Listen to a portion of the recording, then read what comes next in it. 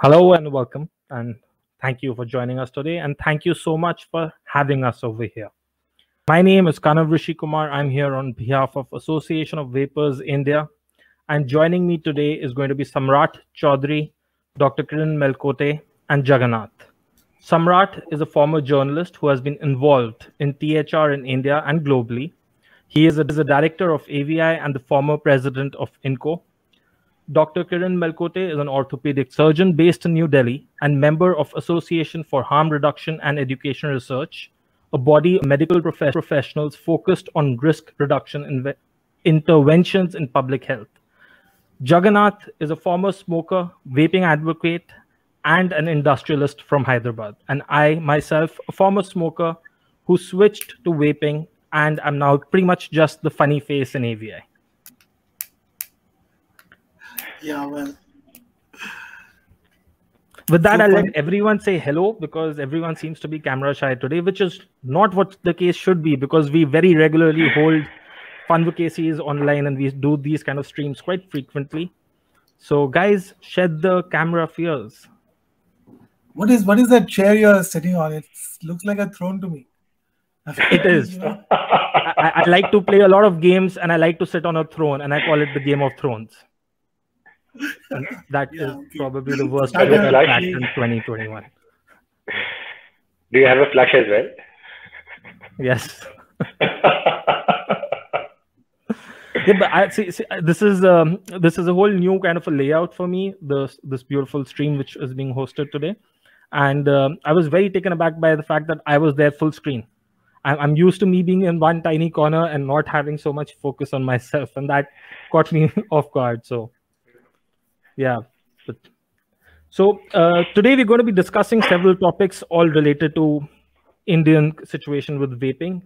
And um we're going to have a panel discussion. We're going to discuss with everyone the situation in india with vaping right now. As many of you may know in late uh, of 2019 somewhere around september the government of india used an ordinance to ban vaping.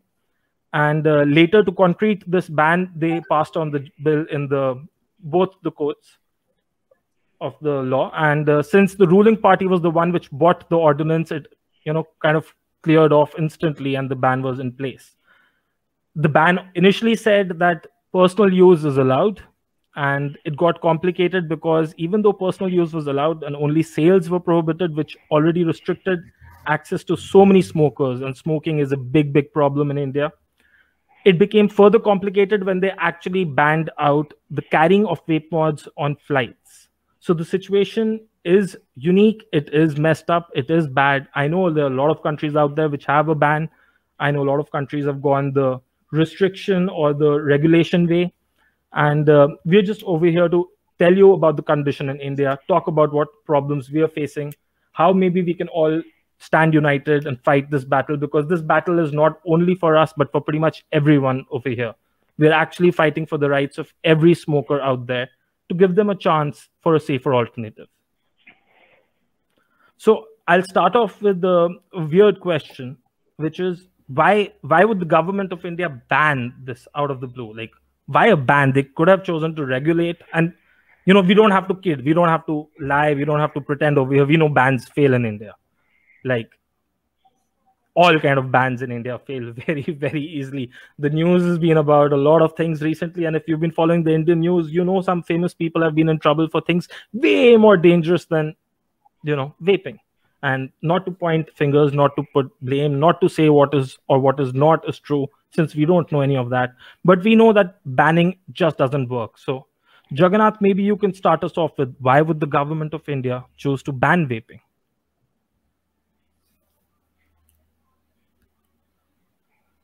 jagannath you need to you are- unmute yourself unless you're like pretending Still can't be heard. I'm telling you, he's doing it intentionally, guys. He, he loves to play. He's got a very vivid uh, sense of humor, and you know, he's been messaging me to use sign language, and I think he's just trying to do the same thing now. Uh, Jaggi and audio. I'm actually going to pretend Jaggi's. Oh, it actually might not be working in reality, guys. Dr. Kiran, why don't you answer the question from your perspective for now? Then Okay, Jaggi, no under you problem. there is So- that mute button. Yeah. So uh, if you actually look at the situation in India, it's actually multifaceted. But if you want to be very fair and if you want to be very balanced and you know if you want to give everybody the benefit of doubt, so you have to look at it from the public health perspective. So that's what the government pretended. Now, at the time when the ban was enacted, uh, there was news that Juul was going to come to India. Uh, there was also the scare about EVALI, which turned out to be because of because of THC vapes, which is a whole which is a whole different ballgame. So they used that to railroad the whole opposition to the vaping ban. So ultimately, it got carried because we were supposed to save our children, and because of EVALI. But you know, having said that, if you probe a little deeper, there is, I mean, the whole thing is a bit, the whole thing is much more complicated in India because here, big tobacco is the government. To be very frank, I mean, that's the simplest way to say it. So when you have that kind of a thing, so you have the government which has a duty to the, which has a duty to the citizens in order to safeguard public health. So they're supposed to sort of reduce the use of tobacco or ban it altogether. And then you have the government, which uh, directly or indirectly owns tobacco companies. So they have a duty to their shareholders, they have a duty to their investors, to the money, in order to keep sales of tobacco going strong. So, you know, there's a conflict over there. Either way you look at it, if they try to do justice to the tobacco industry, it's in conflict with their duty to the citizens and vice versa. So that is where that is where the whole problem comes along because here it is that way where you where almost uh, nine out of ten cigarettes are actually sold by the government of India eventually. So that's huge. That's huge revenue you're talking about. Apart from that, uh, we also have one of the highest. We also have one of the highest tax structures on cigarettes.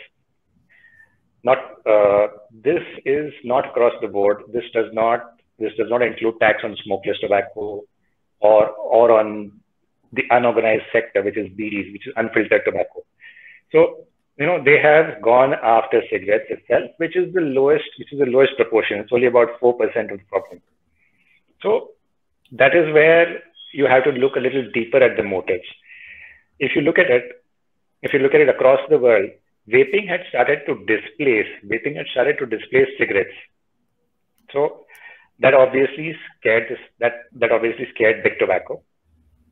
Government tried to do its bit with its duty to big tobacco, and that's why we have the vaping ban. I think that's my take on it. Do you want to add something, Samrat? Yeah. So I mean, while I agree uh, with everything you say, I mean there was, uh, of course, the financial angle because the government itself is a stakeholder in the tobacco industry and this was borne out by the stock of tobacco companies going up when the news of the ban broke. So it's quite evident, uh, you know, who benefited from the ban. Uh, there is the, there is also, uh, you know, I think there are two more factors which I would like to highlight. One is the influence of the WHO thinking, you know, on on. Uh, I mean, our health minister at that time was a former WHO advisor, and tobacco control was his pet thing. So he was quite steeped in that prohibitionist, you know, sort of thinking that, which is naive in my, you know, like Kanav pointed out right at the start, bans don't work. So while it on paper it looks really beautiful that we have banned vaping, have you really banned it? What is the impact? What really happened, you know, on the ground? So, uh, so, but WHO had a lot of influence there. Uh, in uh, developing nations where WHO does a lot of programs and funds a lot of activities, it bears a lot more influence than it does in the West. So, you know, uh, when we talk about WHO influence in developing world, it is a thing to reckon with. And it's also uh, evident in the language of the ban. You know, the way it was uh, framed was, we are complying with FCTC guidelines or uh, statutory, I mean, you know, they're saying that uh, it is mandatory on India to follow uh, the FCTC uh, decisions, which was to regulate or ban. So therefore, we are choosing the ban option, and that's why we are doing it. The the second, you know, angle which I would like to point out is the influence of foreign NGOs and policy groups which again is a serious thing in India because unlike in other countries, here they work directly with governments or state departments and directly fund programs. So uh, it's not that uh, you know they're working in partnership; they're directly funding a state health department, uh, and therefore they bear a lot of influence. And if you see, there was first a ban. I mean, the way they did it was they went state to state to state, got the ban in this state, then went to the next state and got the ban in the next state, and suddenly you have 15 or 17 states banning it, which then created pressure on the central government or uh, uh, actually gave it a justification to ban it, saying that, oh, 17 states have done it. So we are listening to the voice of our states and then going ahead and doing this. So, uh, yeah, the influence of these groups uh, should really be noted because what they are doing is they are, they are saying that in the Western nations, we don't need a ban, but in developing nations, we need a ban, which according to me is discriminatory and creating two classes of people that uh, people in developing nations don't deserve the right to harm reduction. And I find that quite infuriating. With that, Jaggi, if your mic is working, please come in. Oh no, that's you. You got to say, Yeah. Jaggi, if you have something to add, speak worked? now or forever hold your peace. Oh, okay. Okay. Now, awesome. I, I wanted to say if I can say something and if I can get heard, I will probably say it. You know, I, you, you you got to follow the money here. Okay, uh, we've been having a lot uh, of stuff going on. Uh, the government owns uh, almost a majority stake in uh, big tobacco. Kiran already mentioned the kind of uh, money that was getting lost, and here was a technology coming out, gaining acceptance with sure success. That's what is happening. I mean, everybody who has been involved in the advocacy movement uh, was a former smoker, you know, is a former smoker. And so that's why we found it working and that's why we've been doing it. And that started getting people nervous. And if you really watch it, uh, Samrat, it was when Juul made this big announcement Yeah. right? Juul made this big announcement saying, We're coming into India with this big hoo ha, and that's it. They, in fact, even said it publicly in a court of law. They actually said, We are doing this because Juul is coming. Yeah. That was one of their justifications in court. So I think it kind of says it uh, says it all, you know, as to why they actually did this. And And see, Juul had captured like 70% of the US market in under two years, right? So that I think was really spooky to the cigarette monopoly here, of which obviously the government is a part. So, I mean, the gov- government had been considering a ban since 2014. But three months after Juul announced, it suddenly banned it. You know, I mean, that, that was so clear that it was a financial decision. And to just uh, rub salt on people's wound, it was announced by the finance minister. You know, it was not announced by the health minister, but the finance minister. Guys, health is secondary, money is first. We we need to ban this. We need to Yeah, stop and the it funny now. thing is, you know, the show FCT, FCTC machinery keeps saying Article 5.3, we are banning consumers, we are banning media from attending the WH, the FCTC. And here it is so brazen that it, you know, who the decision was for. And not only uh, India gets to chair a COP, but then WHO gives India an award for banning vaping. So- It couldn't be See, it's a little shocking. WHO hasn't lost all credibility in the last two years. no, no, Actually, They it have. has, but we're They just have. you shouldn't be surprised if uh, the Tobacco Growers Association worldwide gives India award for owning stakes in the largest tobacco company supplier, and they'll go and accept that one as well with great pride. Yeah, yeah. I mean, Yeah, yeah. Nothing. You, you, you can't take anything away from these guys. Nothing is impossible for them.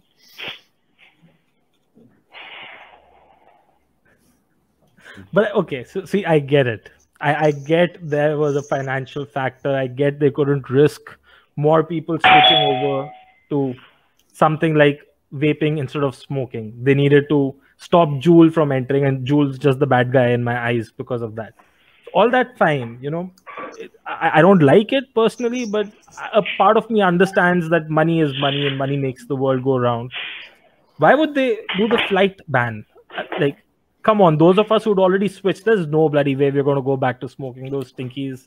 We we'd made the switch. Let us have a healthier alternative, man. We we weren't bothering anyone we weren't trying to you know push the product onto other people we were just happy just living healthier why would they do the flight ban because that hurts i, I can't travel anywhere without carrying my vape mod and as an outcome i don't travel anymore that's the solution I tried. honestly there was nothing like, COVID had nothing to do with me not traveling guys it was the Yeah, it yeah. was the no, no, I ban just on tried vape now. mod. Yeah.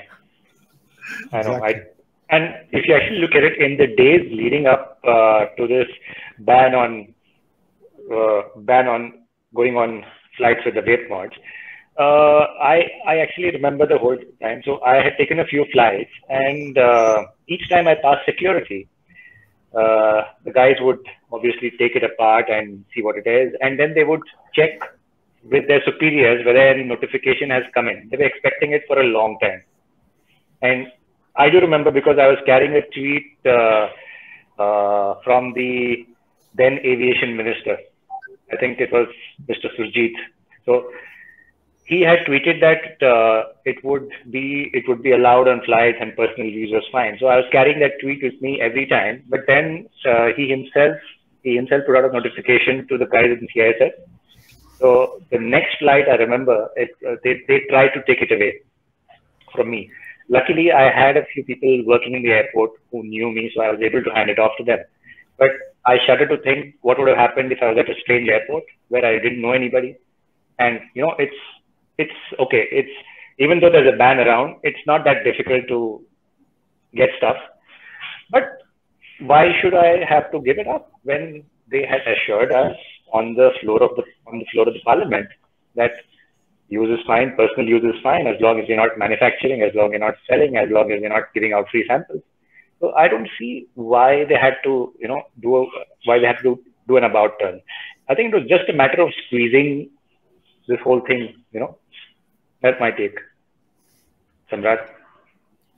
See, I, I you know, I think the ban would not. You know, we already uh, discussed why it was a financial decision, then a health decision. Uh, it was hurting the cigarette market, in which the government uh, has significant stake. So it was more a protectionist move than a health move, right? And uh, who are these cigarette? Who are the people that the government thought would be using these products? Are people who'd be taking flights. So it's a way to discourage away from cigarettes to vaping. I mean, it's purely as that. And how do they implement it? Because see, in the bill itself, they could not have brought in a ban on personal use because that would be easily challenged on grounds of infringement of you know individual liberty. Uh, so so they could not bring it in the bill itself. But this is a sideway action that okay, you know, we could not put it in the bill, but we can enact this as a you know uh, it, it doesn't have to pass the house of parliament it can just be an order but of course it is unconstitutional because if the law itself is saying that personal use is not banned then why are you banning carrying of it so it is something which can be challenged and it's something that we are looking to challenge i mean because of the pandemic things got delayed but uh, we are renewing action to look uh, to challenge this uh, and see what the courts say what the thinking of the courts is but in my view it was purely an act of uh, preventing cigarette smokers from making a switch. What do you think, Jaggi? I would really argue argue that uh, you you could say that because mods have got batteries in them, okay, and so that's what it was, and that's why it, they banned that note because Note Seven it was because that was kind of catching fire and stuff like that. But then you allow so many other products. Okay, that could be probably the only technical reason. Uh, apart from that, it's just uh, one more enforcement to ensure. Not that it has hurt me. Okay, everyone has got ways and means around it. Okay, uh, so I drive everywhere. I, I need to go and I, I am happily vaping away, and uh, no one can do it. And so that's how I've. And man, there are I know friends across in so many towns, and so I just tell them, "Hey, I'm landing up. Give me something." And you have alternative uh, products to take us through that uh, intermediate phase from, from one airport out of the other. So it's really not uh, effective. It's only an inconvenience. So they're just trying to inconvenience us probably wanting us to go back to smoking because then that will in, increase their coffers, right? Uh, so, so, that's all they're looking at, uh, wanting us to go back to smoking. And they want smoking, to milk the cows as much as they can. Yeah, and and, and you know, see, the, the point is that the government is really not serious. What's the percentage of uh, tobacco users in India who actually smoke cigarettes? That's a small fraction, right? It's the bidis and the chewing tobacco, which is actually the huge problem.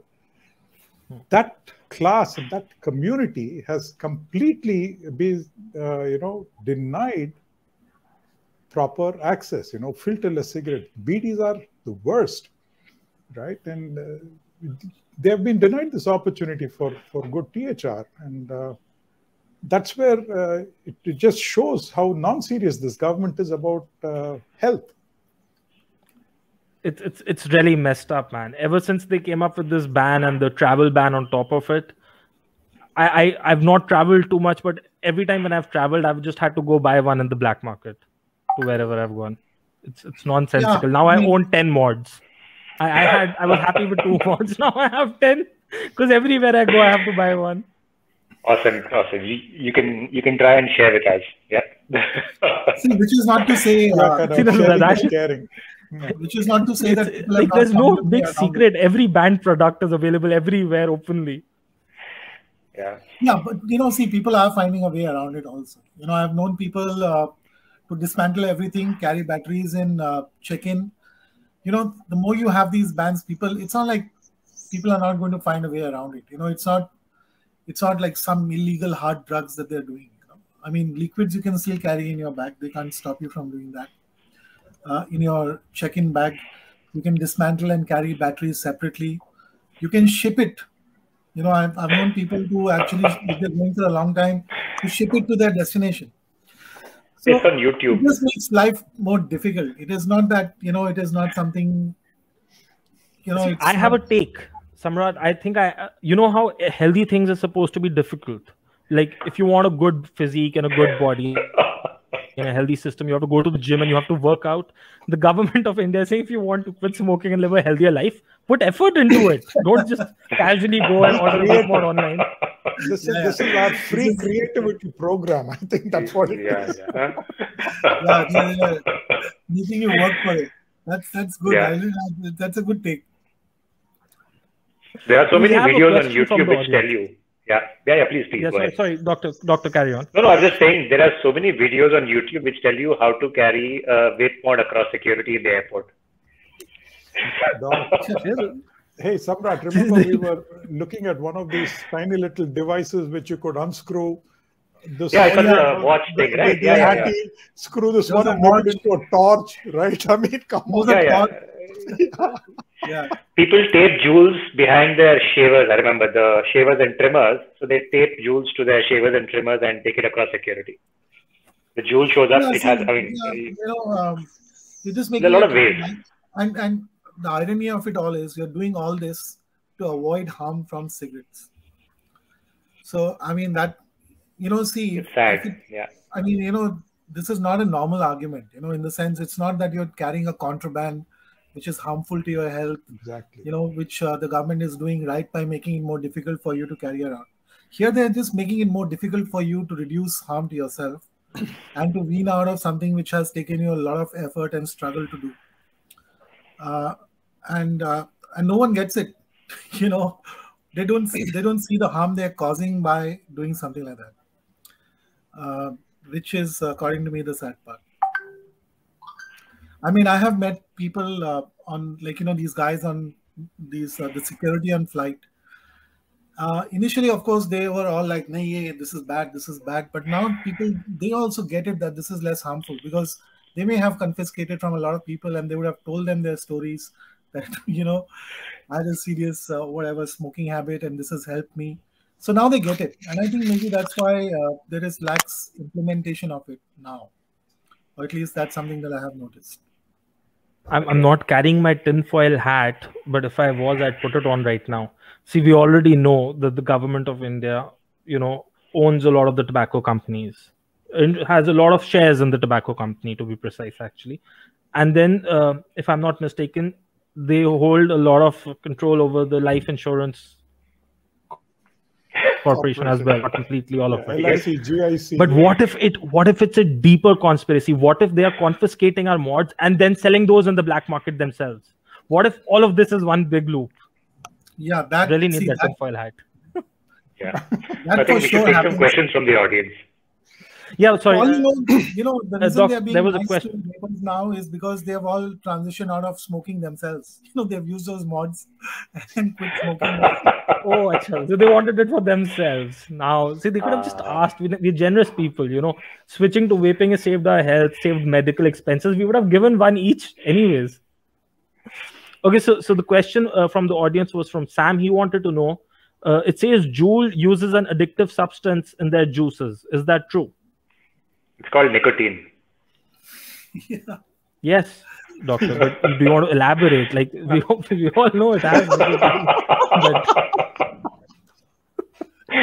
okay, okay, okay. Uh, yeah, I should not be flippant about this. Like, So, I, yes, I, I can uh, I can give the basic one. Yes, Juul. No, no, uh, I should not be- contain yes. nicotine, and yeah, it is known to be contain nicotine. Yeah, so it actually contains nicotine salts. So it's uh, uh, for the, I mean, you actually look at it, there's freebase nicotine and there's nicotine salts. Nicotine salts are supposed to be smoother, so they, they actually enable you to vape, uh, vape a higher strength without feeling any throat burn. So the argument could be made that in the long run, the Juul and other pods, uh, or any device that uses salts for that matter, because of the high strength of nicotine, they would be a little bit more addictive than freebase nicotine or, you know, an open mod, or if you're making your own liquids. So that kind of argument could be made. But ultimately, it is the same thing. So it is still nicotine.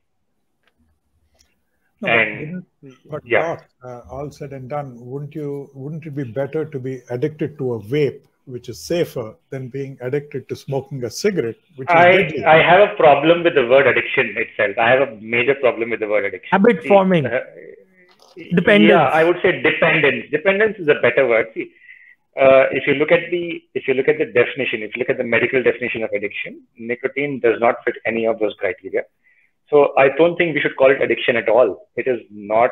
I mean, it it it should be something we call it as a habit forming. That is right, kind of, or something like dependence. That would be a term would be far more accurate for any kind of nicotine. So yes, you're right in the way that you know, uh, if you look at the harms, if somebody is going to smoke or is going to vape, or if somebody is going to be using smokeless tobacco, then why not choose a product which does not have the associated harms of say something like cigarettes or bidis or even gutka, candy, zarda, so stuff like that. So yes, definitely, that's where you're right, Jaggi. Yeah. Jaggi, congrats. Congrats. This is hmm. officially the first time you've been right somehow. and got hurt as well. Yeah. for- So for this brings know- me to an. Sorry. Hang on, I got I got to complete this. For those who don't know, Samrat's always complained and cribbed about the quality of my mic, and my cursed luck today, I couldn't get heard again. it was a conspiracy. I Somehow know. our fault. Like I, I think we need a one-hour YouTube episode explaining Jaggi and his mic problem. I, I don't think Amazon sells any mic with Jaggi's not bought already. He's probably got a collection of mics somewhere hidden now. And, and with that, Jaggi, you've been told to speak louder. Just uh, for the record. All right, that works. Yeah. So, Doc, coming back to the question which uh, which you just answered, that is the nicotine and its you know dependence or uh, habit forming tendencies and all. How uh, do you educate?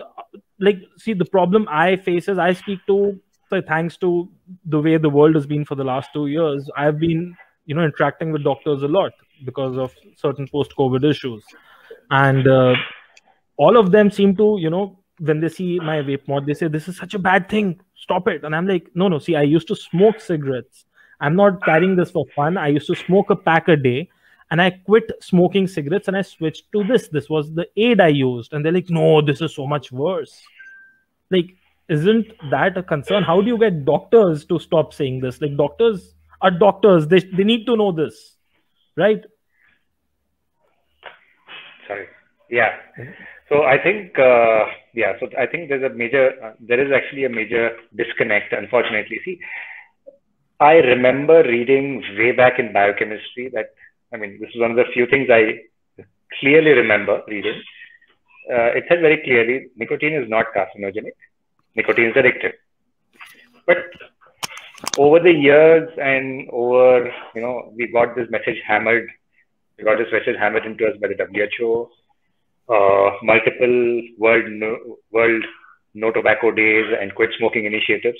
So now nicotine has become conflated with tobacco. Now, we have to understand. See, earlier, uh, barring a few few things like gums and patches, which are not available in India, there was no way to get clean nicotine.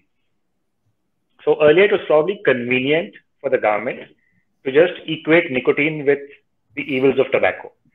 But what the fallout of that is over the years that has taken root in most of my fellow doctors' minds. And now it's quite difficult. It's actually quite difficult. There was a survey done uh, some time back, and that showed over 80, 85% of doctors in India believe that nicotine is carcinogenic. So how do you combat that number? So you can't ask a senior doctor who's you know been in practice for 25, 30 years to go back and study biochem. I can tell my friends, which I have been doing, but I can't go and tell somebody who's you know my HOD to go and go go go back and you know speak to his biochem professor and apologize profusely. I can't do that. So there are specific challenges, but I think we meet that challenge by uh, we have to start educating and we're already doing that but i think we just have to up this thing so we just have to keep going at the same message over and over until it takes root just like the other message has taken root we have to keep on going that's that's the only way that's the way to set the narrative straight wow that's that's challenging to say the least but um, I, I, we can elaborate on this. I think this itself can be a humongous long discussion, but we do have questions coming from the audience and uh, we're loving the interaction. So Rahim wants to know, is it true that tobacco companies will end up selling vapes in India as well? this is, I think, okay, a very I, speculative I question. Samrat is the best at speculating over here.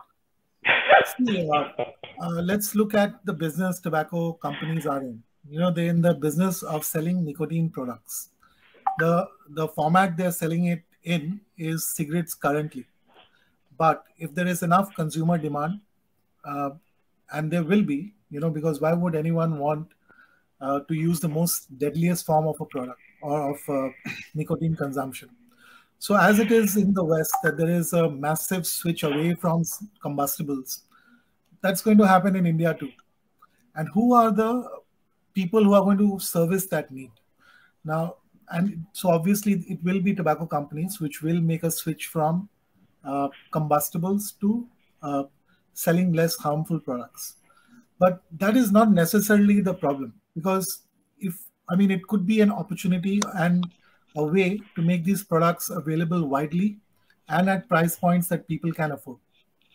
So, uh, yes, I believe that if these products were regulated, the big players will come in because you know if uh, when where there is consumer demand, there will be someone to fill it. And at a proportion, uh, you know, like India has a huge tobacco using population, so the demand, if it transition to less harmful or safer alternatives, there will be players servicing that need, which I don't think is necessarily the reason why these products shouldn't exist. The products exist because they are less harmful. Not you know the argument that because big tobacco will be involved we should be banning them. What is our problem? Our problem is uh, whether big tobacco makes money or is a problem that whether people die from tobacco use yep that's a great way to put it i mean if uh, i mean if you look at the if you look at the big if you look at the big car manufacturers they're moving to electric you're not going yeah. to diss them for it right that's how the world works. Yeah, I mean, you know, I mean, while while we uh, really support the small players and uh, uh, the small industry in this, we also have to be pragmatic that it's a huge space, and you need the big players to be servicing a market at price points that people can afford. I hope that answers the question. No, but I, I think it suffices for now. yeah. But um, uh, Stephanie would like to know: Have flavors been targeted in India as we are seeing in Canada? Uh, everything is targeted in India. I, I, I mean, they've not made a distinction. So vaping is gone. Period. You know, they're not made. They're not bothered to make the distinction that you know you can smoke. You can smoke. Uh, Virginia tobacco or some sort of tobacco, and yeah, so every, everything is gone. So it's not like I mean, see the you know. the debate here is at a very uh, basic level whether these products should be allowed or not. Uh, the flavor discussion happens at a later stage when these products are allowed, and then you want to figure out which is the best way to allow them. So we are stuck at the basic allow or ban or don't ban level. You know, so uh, at least until now, I mean, since these products are banned, of course, there is uh, uh, not that much discussion about flavors yet. Stephanie, to simplify, as of right now, there is no talks about the ban of flavors in specific. They've not been targeted. But since we are fighting against the ban, we feel like we are walking around with a target on ourselves at times, if you know what I mean. That's that's a joke. I mean no harm.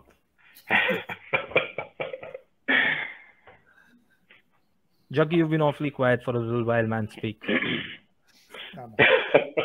Louder. This is getting ridiculous. Okay. no, but uh, no, but honestly speaking, I mean, you know, the tobacco flavor itself is a flavor, right? I mean, you don't really have it's you, you don't really have tobacco sitting in it. It's only a flavor there, and so I think. Uh, at a very broad level, the stock of flavor bans itself is very silly because everything is actually a flavor. But then we are, like Samrat said, at a very, very basic level. And uh, of if you didn't understand that, we really have a problem. Okay. I think this was directed more at you than anyone else. no, I, I, got it. I got it. So, I, you know, just, yeah. So I, we are like actually, yeah. So, you know, we are actually like sitting here in a poor country that's how we feel. You're actually sitting here in a poor country and looking at people argue about flavors where you don't have access to vapes at all. So we're like, at least we'll get there one day, you know, when we can argue about flavors and nitpick. yeah, as of right now, any no, flavor, any MG, I'm okay as long as anything. Exactly, exactly. That's exactly what I'm saying. No offense to Stephanie, that's a great question, but I'm hoping someday we should be having that debate in our parliament about, you know, so then at least we would have got past the ban there. yeah. No, but but Stephanie's uh, question brings me to an interesting point. See, uh, we, we're not really completely alone in this battle. It is a global problem. At some level or the other, this uh, ban or restriction or regulation or flavor ban or control is a, is a nonsensical attempt by much larger you know organizations to control the fate i'll say of tobacco smokers and uh, what uh, what uh, Samrat, maybe you can share some insight into it. But shouldn't international NGOs be, you know, shouldn't we all be working together, collaborating, getting together? Maybe we're already doing it. Maybe we're not. See, I'm I'm not very updated with all of these things. But what role do the international NGOs play in this whole position? We are talking only from AVI's perspective till now, but let's take it a little global. See, uh, if you mean consumer organization like ours, then of course there is a global uh, push. I mean, uh, INNCO is doing great work. In fact, just as we speak, they are in the UK uh, doing a rally uh, talking about harm reduction. UK being the most pro THR nation there is. So there, there is collaboration among consumer groups and consumers.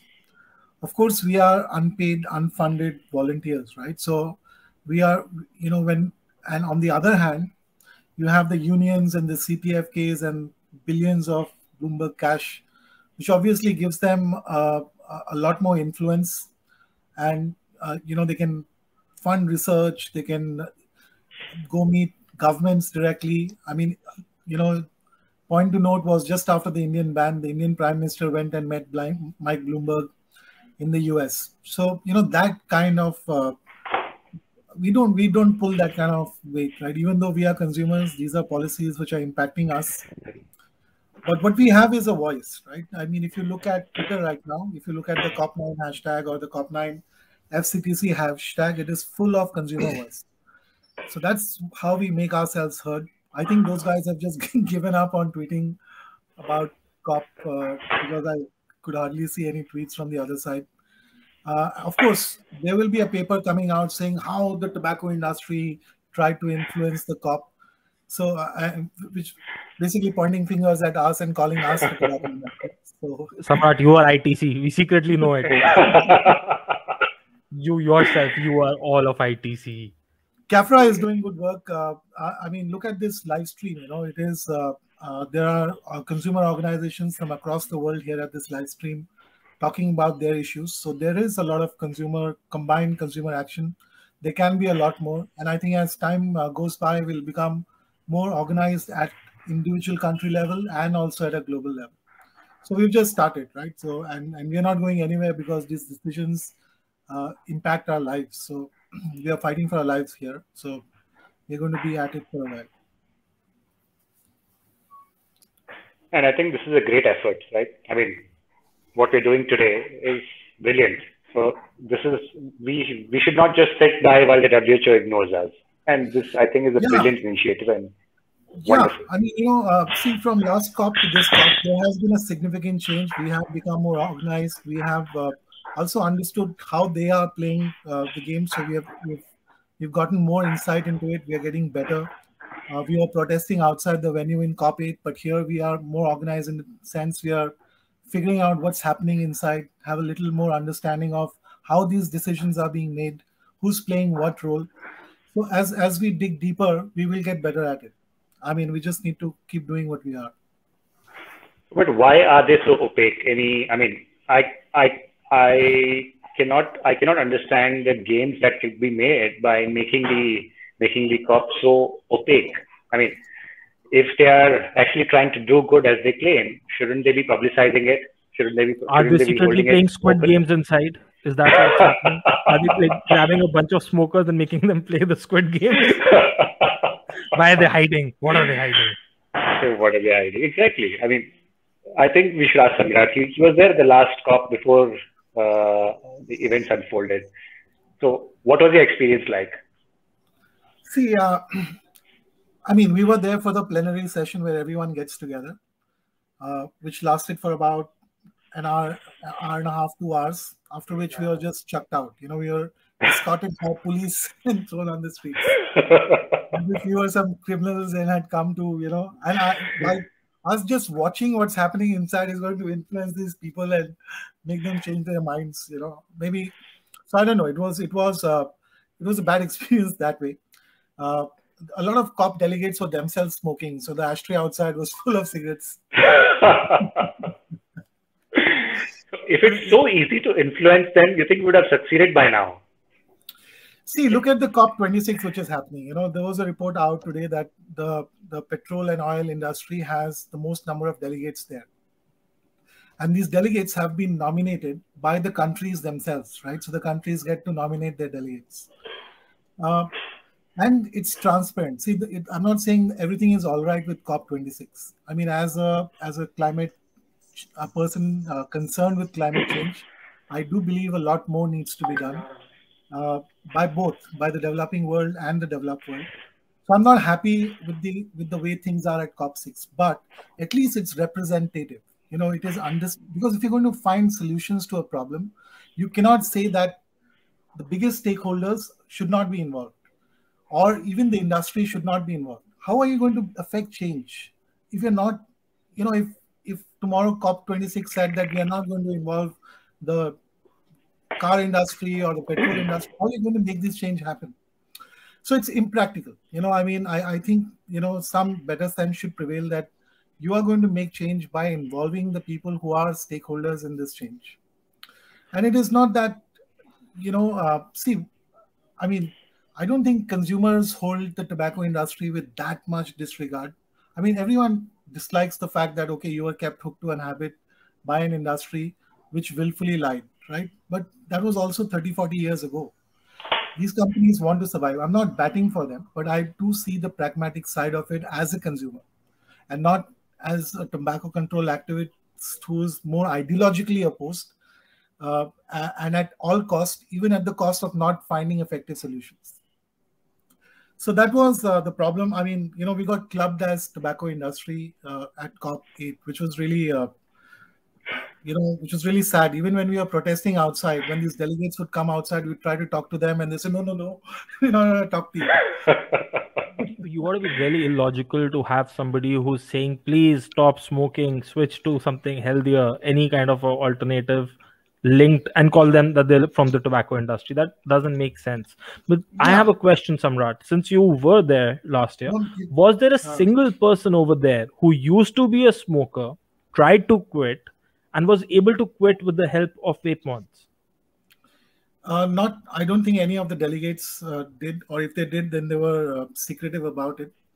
Uh, we were uh, uh, you know, vapers and ex-smokers there who were protesting outside. So we obviously had transition, but no one inside. You know, I mean, there was a lot of vitriol. I mean, India was chairing the session, and the Indian delegate, you know, I mean, they were just. I mean, I don't want to take names, but you know, it was. Google it, guys. Just Google it. So no, I don't think there's awareness or at least enough appreciation among the delegates about harm reduction. But this year more so. You know, I believe there is a debate happening at COP about uh, these products. Even if you look at the Indian ban, I mean, if you followed the debate in Parliament, none of these MPs or members of Parliament or politicians had seen a vape. You know, they're talking about it as if it was some heroin or hard drug. One one MP even compared it to, uh, you know, heroin. So uh, they, they have was zero lack of awareness of what these things are. So I think that over time, uh, more of them will become aware of what it is, and some of them will go the extra mile and understand what is the benefit of it. So it is a slow change, but I think uh, it's happening, and we can only help it along by doing what we are. I, I had a joke. I forgot it. I'm sorry. That's, all right. That's all right. there's actually, but, but, a, uh, I don't know if you guys heard of this. Uh, there's a there's an adage. Uh, so you know, uh, the strength of your the the strength of your the strength of your conviction is actually is actually better tested when you're able to debate with somebody who doesn't believe. If that is the case, then COP9, if you look at it, they don't really believe in what they're doing they don't have anybody to present the other side of the picture. They don't have anybody to debate with. They just have, you know, it's like a target where, you know, you just have to go and throw darts at it. Like that. I don't know. Just my take. Yeah. That answers the question I was going to ask, which is what, since India has banned it, what is India doing at COP9? But now I know they're playing darts. They put a big, big board over there, put a big board, and they're throwing darts at it. Not or any kind Samrat. of harm reduction. Samrat. oh, Samrat, yes. Samrat is like the bullseye, like right in the middle of Samrat. You, if you get it on Samrat, you win the game. no, but seriously, Jaggi, what do you think they're doing over there? Like, I, I, you know, they always sit and speculate how we. What they're doing, man. Exactly what they are up to. Okay. Lovely. I mean, uh, honest to God, man. I mean, look, uh, you, you have, they're not going to allow anyone in there. Uh, India going to go and talk there, and they own 30% of India's largest tobacco company. They're going to let them talk there. So de facto, they are allowing tobacco industry to come and have representation in there in COP9. Big tobacco. What about, mm. yeah, big tobacco? They are there talking. Okay, they are there listening, they are there deciding policy. What about people who don't want anything to do with smokes or vapes or anything? Are they being heard? No. Is common man being heard? No. What about people who quit, who want healthier lifestyles? No. What about vapers who chose such healthier lives? No, they're not doing anything about it. And it's not just India. It's it's it's this blanket decision they've all got together and done. They have these secret Masonic handshakes, and that's all they do. They make these shady deals amongst themselves. Most probably, we are never going to know anything about it because they don't talk about it. They say nothing, they don't allow anyone inside. That's the problem. Honest to God, nobody gives a damn, uh, you know, uh, as to what they are. Uh, rather, it's not nobody gives a damn. They don't give a damn what we have in. That's what it is. Sorry. Yeah. yeah. That's what it is, man. They don't give a fuck.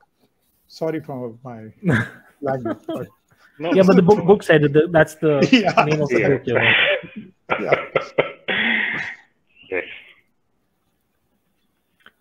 But like, I'm I'm still very curious. Like, I want to speculate more on what exactly are they doing behind their closed doors in this really secretive meeting, which is deciding our fate, our future, and you know, just not taking our inputs on it. I, I, need a clearer uh, answer know, on this. I'm I'm open to the audience also giving their opinions on what do you think is happening in those meetings.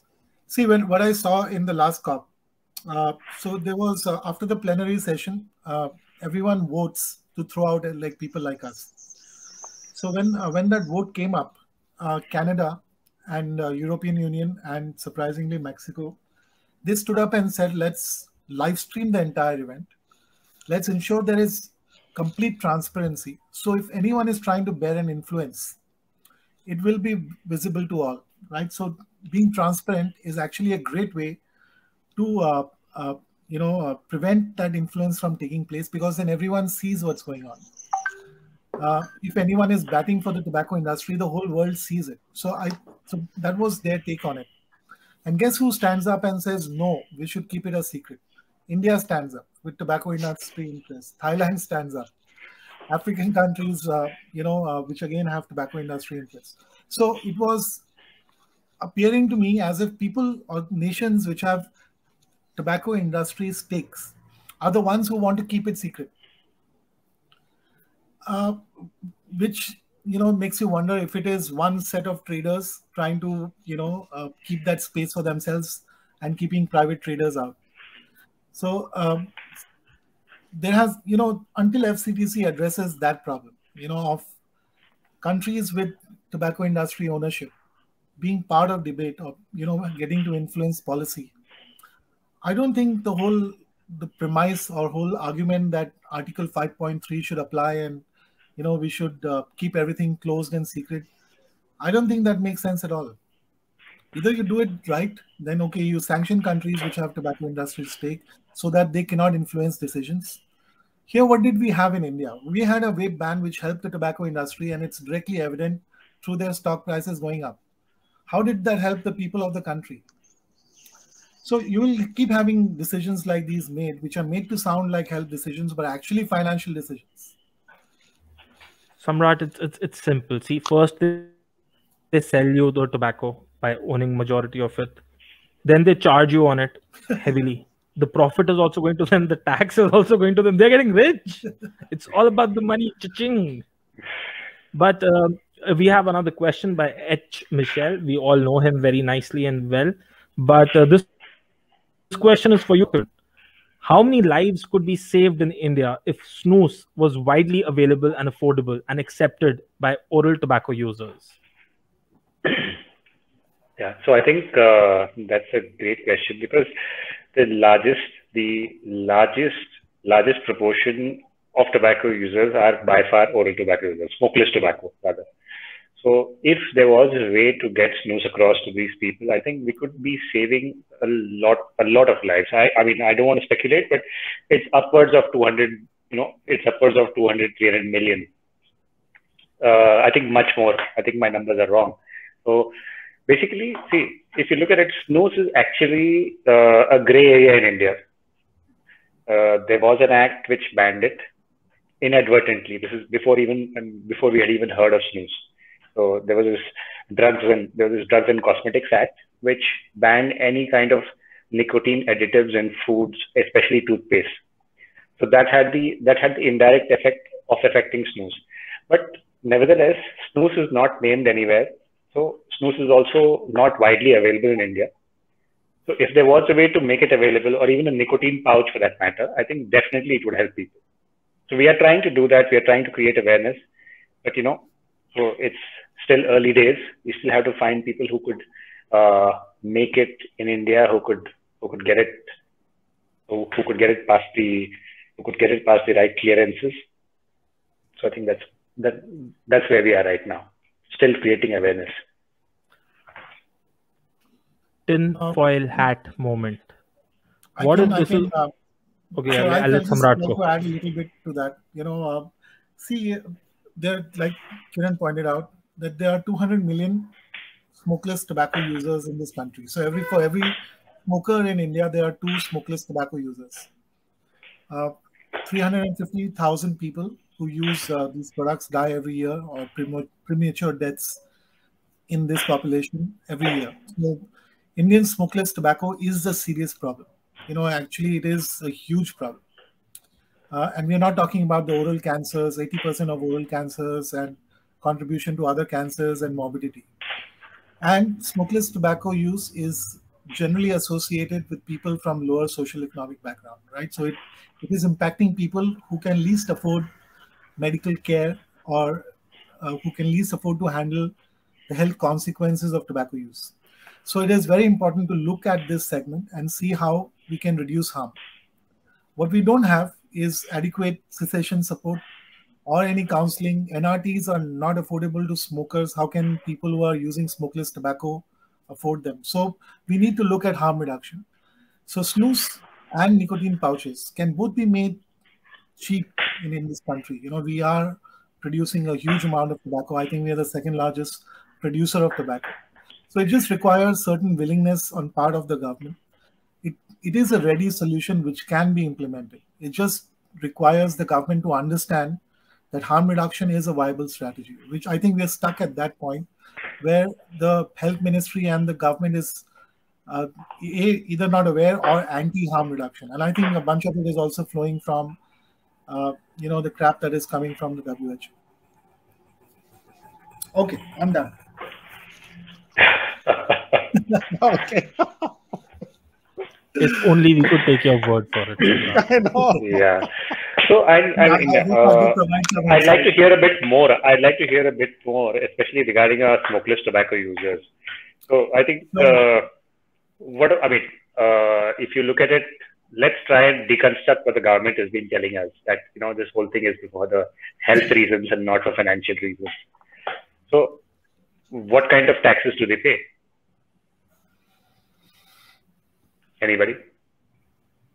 Sorry, what kind Mr. Andon, take over. No, no. I mean, if you're actually looking at, uh, I'm actually looking at trying to deconstruct our, you know, uh, what what our what our uh, what our health minister is actually saying regarding I- why they're trying to clamp down on tobacco. So, are they doing the same for smokeless tobacco? Are they doing the same for bidis? No, No, I, I think those are not taxed that heavily. I I think they're actually bloody reasonably priced for some unholy reason. Perhaps It- it's it's like a population control strategy or something, in my opinion.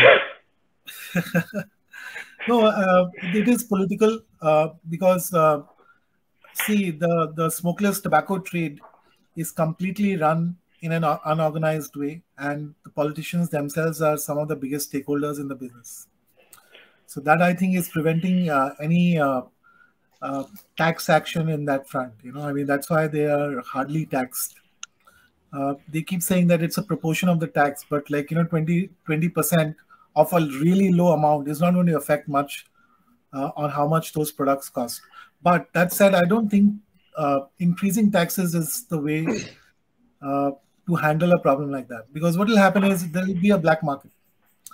Mhm. So uh, you, I mean, I think it's uh, better to give people options to reduce harm because everyone is driven uh, by self-preservation. Uh, if you give them moralistic uh, things that oh quit it, you know, then obviously it's not working because people are using those products to fulfill some need in their life. So if you give them an option, you know, which is more pragmatic uh, and effective, then I- they are going to take it. And as long as it's also affordable and not and easy to access. So, uh, you know, we worked on a project where uh, we uh, worked on a snus flavor, you know, because snus, snus is usually made in flavors which are Western, to make it in Indian flavors. And uh, we did a rollout and we got some really inspiring, I mean, encouraging results that people would transition to it, especially if it came uh, they, if they were told that this is less harmful, they are willing to try it and they were willing to pay a you know a small amount more. So it can work. I mean, it uh, you know there is a proof of concept. There is uh, we know that it's possible to do it. We need some willingness. Samrat, you know absolutely nothing. The only way to stop all of this is to put ugly pictures on the packages. That will Yeah. save. Yeah. Oh, yeah. Yeah, yeah. Who do you know who has quit smoking Oh. or using uh, smokeless tobacco because of these pictures? I mean, it looks very good on research papers, but I don't see it happening. I mean, I haven't heard of anyone.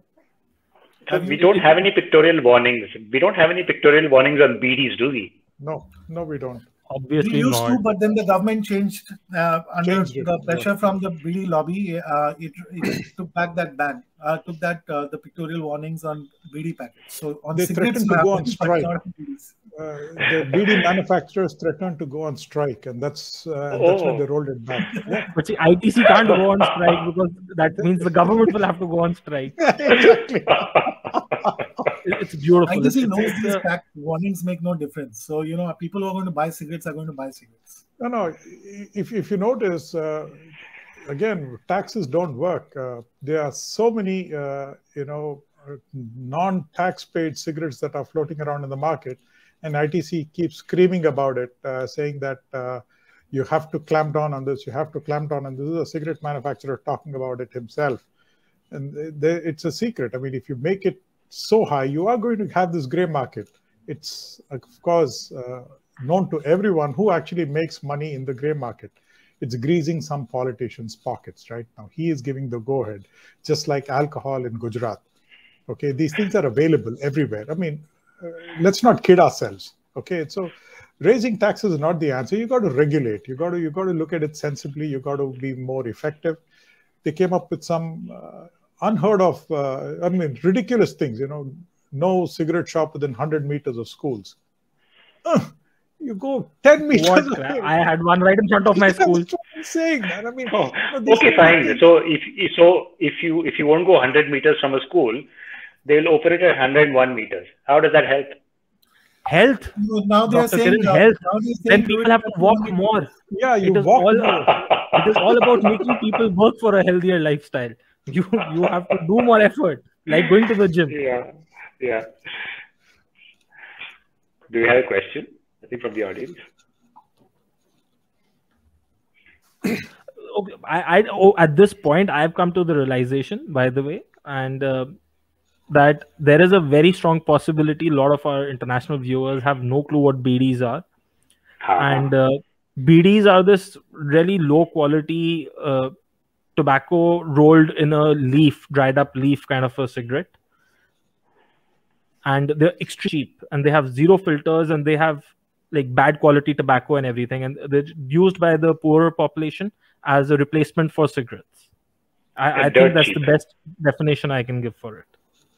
And uh, yeah, so on an average, uh, I think it's about uh, 20 or 30 bucks for a packet of 25. It's that cheap. And in dollars, that's like 0.4 dollars. Yeah, zero four. Yeah. Zero four. Four cents.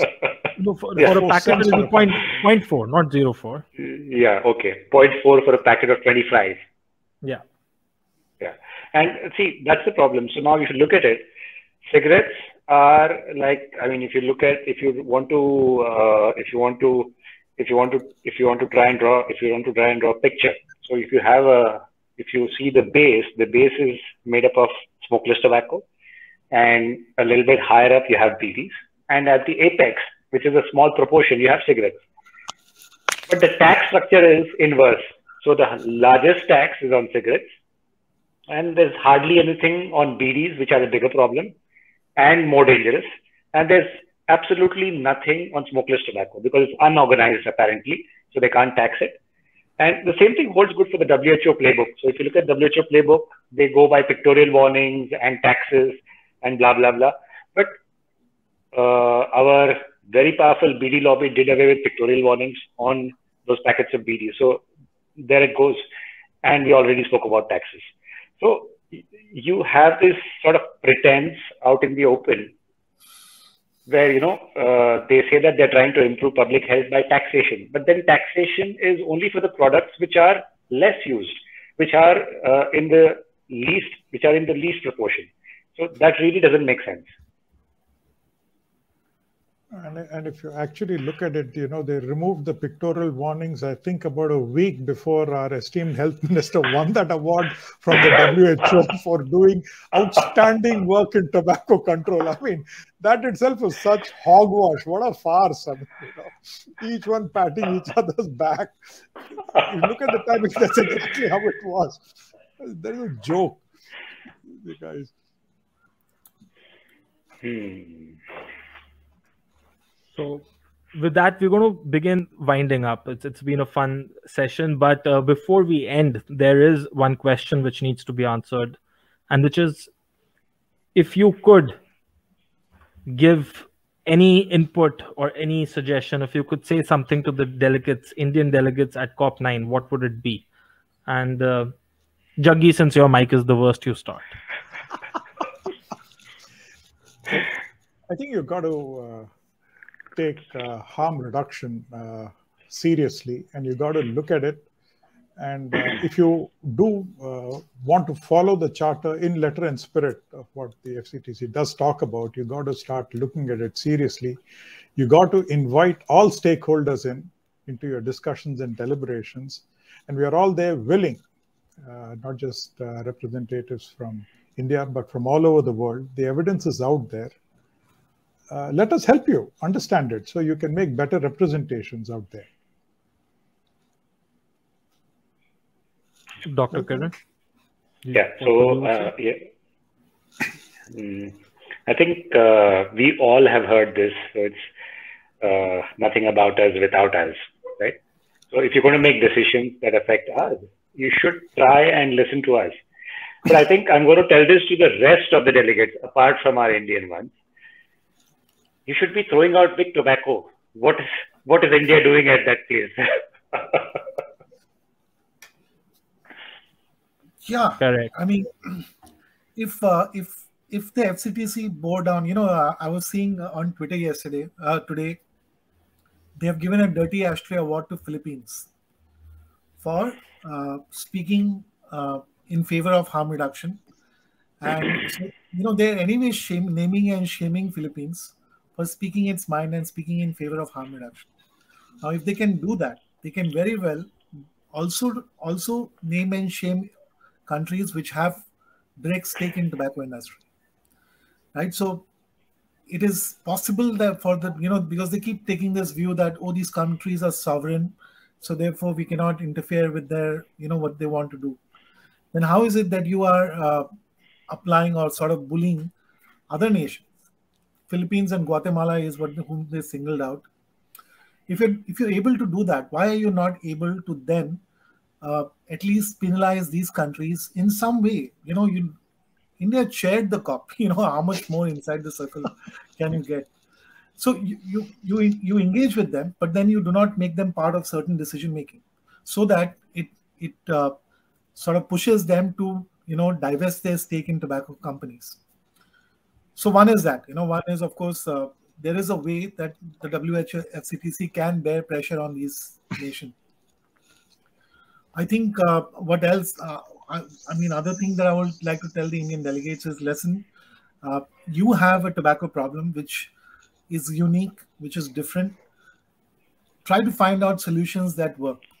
You know, have an open mind. Look at solutions that work, and not try to appease or you know uh, make uh, these international groups or WHO happy for policies that they have crafted for the whole world because your situation is different. Your and and have the nerve to stand up uh, for what is good for your country. I mean, of course, that first thing is that diverse your stake in the tobacco industry, but at the same time, you can also uh, look at harm reduction, which can have a lot of benefit, you know, at a population level. So yeah, that. And to end it, to all the viewers out there, to all the NGOs who are fighting this, to all the vapers globally, this is a storm which you may find yourself in the middle of right now, or it might be coming to you soon someday. But the storm is coming, definitely. How far or near you are to it is different for all of us right now, but it's a storm which is coming. And we all need to stand united and fight this off. not only for ourselves, but for the betterment of all other people out there. This is a health right which we should be fighting for. So stand strong. You are not alone when you're fighting this. We are with you, and we hope we can count on you in our times of need. And to the delegates over there, in Indian delegates over there, for once, don't be the followers, be the leaders. Set the standard, speak up you know harm reduction is real. You've been saying it for two years. COVID taught us harm reduction is a possibility. We've been doing this. We've been wearing masks. We've been sanitizing. That's a form of harm reduction. Apply the same level of intelligence when it comes to tobacco, please. Be begging you. Save lives.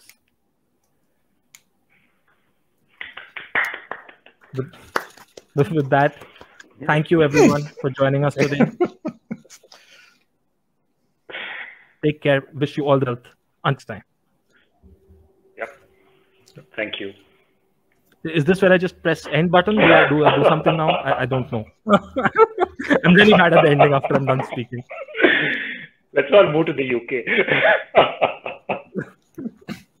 yeah, that next. yep. Thank you, everyone. Thank you. Thank you, everybody. Thank you. Bye now. Bye. Bye